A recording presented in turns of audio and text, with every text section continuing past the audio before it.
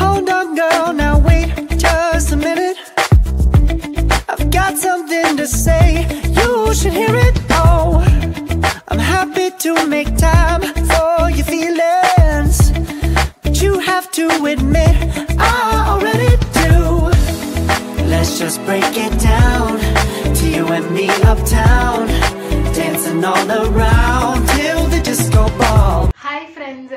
எப்படி இருக்கீங்க? எல்லாருமே நல்லா இருக்கீங்கன்னு நினைக்கிறேன். அண்ட் இது வரைக்கும் நீங்க இந்த சேனலை சப்ஸ்கிரைப் பண்ணாமலே பார்த்துட்டு இருக்கீங்க அப்படின்னா மறக்காம போய் சேனலை சப்ஸ்கிரைப் பண்ணிடுங்க.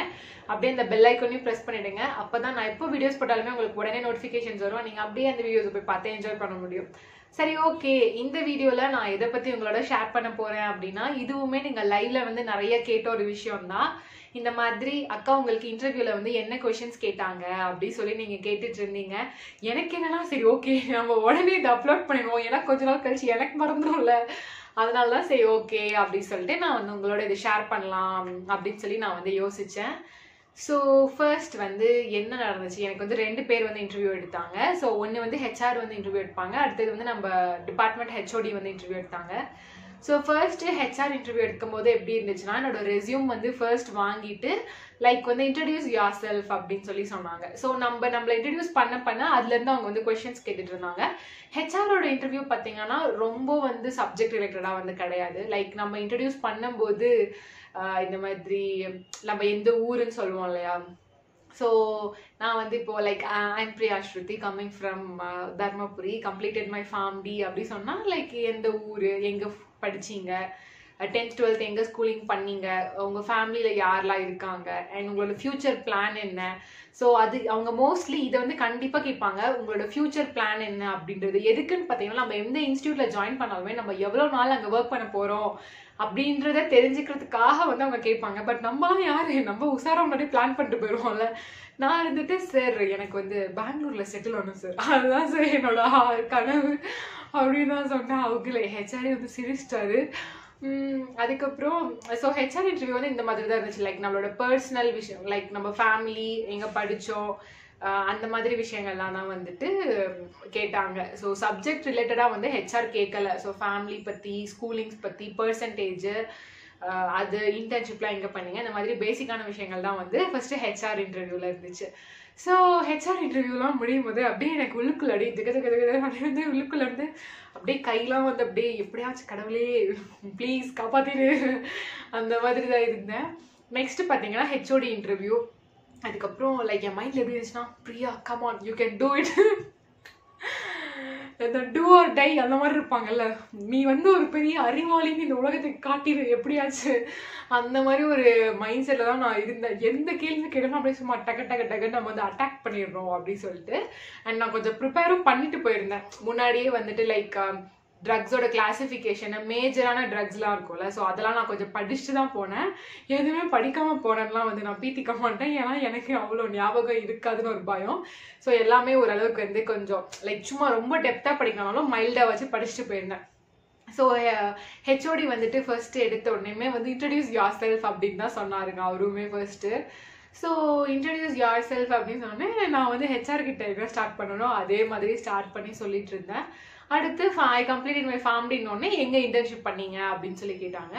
ஸோ அடுத்தது வந்து நான் இன்டர்ன்ஷிப் வந்து இன்டர்ன்ஷிப்பில் என்னெல்லாம் பண்ணீங்க அப்படின்றத மெயினாக கேட்டாங்க. ஸோ நான் வந்து நான் ஃபிசிஷியன் போஸ்டிங் போயிருக்கேன். அதுக்கப்புறம் வந்துட்டு medication error antibiotic stewardship patient counselling so இந்த மாதிரி நான் பண்ண எல்லாமே சொல்லும்போது அவங்க ஒவ்வொன்றுத்துலேருந்தும் வந்து கொஷின்ஸ் கேட்டாங்க. இப்போ எக்ஸாம்பிளுக்கு நான் ஃபிசிஷியன் போஸ்டிங் போனேன்னு சொன்னேன். ஸோ நான் வந்து மூணு போஸ்டிங் போயிருந்தேன். Cardiology pulmonology and nephrology so வந்துட்டு நீங்கள் என்ன பண்ணீங்க அப்படின்னு கேட்டாங்க. நான் கார்டியாலஜி போகும்போது என்னை எரர்ஸ்லாம் பார்க்க சொன்னாங்க. லைக் எப்படின்னா வந்துட்டு இப்போ ப்ராக்ரஸ் நோட்ஸ்ல இருக்கிறத பார்த்து சிஸ்டர்ஸ் வந்து ட்ரக் சார்ட்ல எழுதும்போது மிஸ்டேக்ஸ் பண்ணுவாங்க. ஸ்பெல்லிங்ஸ்ல டோசஸ்ல அந்த மாதிரி அந்த மாதிரி எரர்ஸ்லாம் பார்க்கணும். ஸோ நீங்க என்னெல்லாம் எரர்ஸ் நோட் பண்ணீங்க? எக்ஸாம்பிள் சொல்லுங்க. இன்ட்ராக்ஷன்ஸ்லாம் பார்த்தேன் அப்படின்னு சொன்னேன். ஸோ ட்ரக் ட்ரக் இன்ட்ராக்ஷன் நீங்க நீங்க பார்த்த ட்ரக் ட்ரக் இன்ட்ராக்ஷன் என்ன? நீங்க பார்த்த ட்ரக் ஃபுட் இன்ட்ராக்ஷன் என்ன? அப்படின்னு சொல்லி கேட்டாங்க. ஸோ ஃபிசிஷியன் போஸ்டிங் பற்றி இது கேட்டாங்க. அடுத்து பேஷண்ட் கவுன்சிலிங் அப்படின்னு சொல்லும்போது நீங்கள் என்னெல்லாம் கவுன்சிலிங் பண்ணீங்க? அந்த மாதிரி பேஷண்ட் கவுன்சிலிங் பற்றி கேட்டாங்க.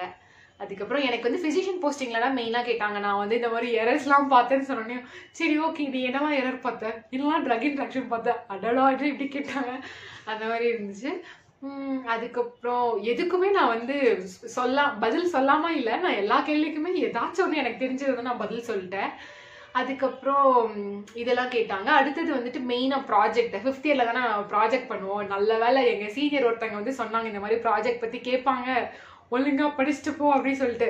நான் டைத்தில் தான் பயங்கரமாக வந்து ப்ராக்டிஸ் பண்ணி நாங்களோட இதெல்லாம் நான் படிச்சுட்டு போயிருந்தேன். ஸோ ப்ராஜெக்ட் பற்றி நிறையவே கேட்டாங்க. டைட்டிலு என்ன பண்ணீங்க? நான் உங்ககிட்ட ஆல்ரெடி என் ப்ராஜெக்ட் பற்றி டிஸ்கஸ் பண்ணியிருக்கேன் முன்னாடி ஒரு வீடியோவில் ஏன்னா கோவிட் சுச்சுவேஷன்னால நாங்கள் வந்து ரிவ்யூ ஆர்டிக்கல் மாதிரி தான் பண்ணியிருந்தோம். ஸோ அந்த ரிவ்யூ ஆர்டிக்கல் அதோட எப்படி நம்ம பண்ணோம் அதுக்கு என் ரிசல்ட் என்ன வந்துச்சு? ஸோ அந்த ப்ராஜெக்ட் பற்றி எல்லாமே ஃபுல்லாக கேட்டாங்க.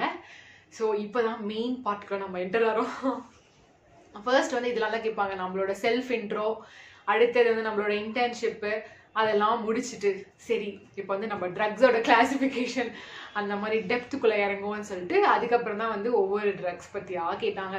ஃபர்ஸ்ட் வந்து காமனாக நீ பார்த்த ஒரு பத்து ட்ரக்ஸோட நேம்ஸ் கேட்டாங்க. அதுக்கப்புறம் வந்து ஆன்டிபயோட்டிக்ஸ் வந்து காமனாக என்னென்ன ஆன்டிபயோட்டிக்ஸ்லாம் பார்த்துருக்க? அதுக்கப்புறம் வந்து ஓரல் ஹைப்போகிளைசிமிக்ஸோட ட்ரக்ஸ் பற்றி கேட்டாங்க. அதுக்கப்புறம் ஆன்டி ஹைப்பர்டென்சிவ்ஸ் பற்றி கேட்டாங்க அப்புறம் இந்த மாதிரி ட்ரக்ஸ் பற்றி கேட்டாங்க. இதுவே வந்து ஒரு பத்து நிமிஷம் அப்படி போயிடுச்சுன்னு நினைக்கிறேன். அதுக்கப்புறம் இதெல்லாம் முடிச்ச உடனே வந்துட்டு இந்த மாதிரி நீங்கள் வந்து ஹெச்ஆரோட டிஸ்கஸ் பண்ணுங்க. உங்களுக்கு மற்ற ஃபார்மாலிட்டிஸ் எல்லாமே ஓகே அப்படின்னா நீங்கள் வந்து ஜாயின் பண்ணிக்கோங்க அப்படின்னு சொல்லி சொன்னாங்க. எனக்கு வந்து ஓகே அப்படி அப்போ இருந்தாலும் நமக்கு வந்து ஃபுல் வந்து கொஞ்சம் இது சரியாகல. ஓகே அப்பாடா பேசி முடிச்சிட்டோம். அந்த மாதிரி இருந்துச்சு. அடுத்து ஹெச்ஆர் வந்து நமக்கு எக்ஸ்பிளைன் பண்ணுவாங்கல்ல ஹாஸ்பிட்டலோட பாலிசிஸ்லாம் எப்படி? லைக் வந்து உங்களுக்கு வாரத்துக்கு ஒரு நாள் தான் லீவே ஒரே ஒரு வீக் ஆஃப் தான். அதுக்கப்புறம் உங்களுக்கு பன்னெண்டு கேஷுவல் லீவ் பன்னெண்டு சிக் லீவ் ஃபர்ஸ்ட் இயரில் செகண்ட் இயர்லேயும் அதே தான் அடுத்த உடனே செகண்ட் இயர் அப்படி கேட்காதீங்க. ஸோ இதெல்லாம் உங்களுக்கு இந்த இந்த மாதிரி வந்து இதெல்லாம் தான் ஹாஸ்பிட்டலோட பாலிசிஸு இந்த மாதிரி பிஎஃப் இந்த மாதிரிலாம் இருக்கும்னு சொல்லிட்டு அவங்க எல்லாமே வந்து எக்ஸ்பிளைன் பண்ணாங்க. ஓகே சார் எனக்கு எல்லாமே ஓகே எனக்கு நீங்கள் வேலைன்னு ஒன்று கொடுத்தா போதும். அந்த சிவகதிகை சொல்லுவாங்கல்ல எனக்கு திரு எனக்கு வந்து ஆடல் பாடல் நிகழ்ச்சியை போட்டே ஆகணும். எனக்கு வந்து எப்படா வந்து ஓகே யூ ஆர் செலக்டட் அப்படி சொல்லுவாங்க. அப்படி நான் வெயிட் பண்ணிருந்தேன் ஓ ஓகே அப்படி சொன்ன உடனே இதற்கு தானே ஆசைப்பட்டாய் பாலகுமாரா? அந்த மாதிரி எனக்கு இருந்துச்சு. ஏன்னா நம்ம ஆறு வருஷம் ஃபேமிலி படிக்கும்போது நம்மளும் எப்போ வேலைக்கு போவோம்? அப்படிதான் நம்ம எல்லாரும் யோசிச்சுட்டு இருப்போம்ல. ஸோ எனக்கு வந்து அவங்க ஓகேங்க. அப்படி சொன்னபோது எனக்கு அந்த மாதிரி ஒரு ஃபீலிங் தான் இருந்துச்சு. லைக் அந்த ஒரு மொமெண்ட் வந்து நீங்கள் எக்ஸ்பீரியன்ஸ் பண்ணீங்கன்னா தான் உங்களுக்கு அது வந்து புரியும். ஒரு ஒரு different kind of peace and happiness வந்து உங்களுக்கு கிடைக்கும். எப்பவுமே ஹாப்பினஸ் கிடைக்கும் பட் பீஸ் வித் ஹாப்பினஸ் வந்து உங்களுக்கு அப்பாடி ஓடிட்டே இருந்த வாழ்க்கையில் லேசாக ஒரு கொஞ்சம் அப்படியே ஒரு நிம்மதி அந்த மாதிரி ஒரு ஃபீலிங் இருக்கும். ஸோ இந்த மாதிரி கொஷின்ஸ் தான் எனக்கு கேட்டாங்க. ஒவ்வொருத்தங்களுக்கும் ஒவ்வொரு மாதிரி கேட்பாங்க. சரி என்கிட்ட என்ன கேட்டி கேட்டாங்க அப்படின்னு சொன்னதால நான் வந்து சொல் ஷேர் பண்ணேன். அவங்களோட இந்த மாதிரி தான் எனக்கு வந்து கேட்டாங்க. பேசிக்காக வந்து hypertensives diabetic medications antibiotics இதுதான் எனக்கு அதிகமாக கேட்டாங்க. மற்றதெல்லாம் வந்து எனக்கு அவ்வளோவா கேட்கல. ஸோ ஐ ஹோப் நான் வந்து உங்களோட வந்து ஒரு சுமாராக ஷேர் பண்ணியிருக்கேன்னு நினைக்கிறேன். இந்த வீடியோ உங்களுக்கு பிடிச்சிருக்கும்னு நினைக்கிறேன். அண்ட் வேறு என்ன வீடியோ உங்களுக்கு வேணும் அப்படின்றது கண்டிப்பாக கீழே கமெண்ட்ஸில் மறக்காமல் என்னோட ஷேர் பண்ணுங்கள் and Until next video tata bye like share comment comment, subscribe. ये दुमे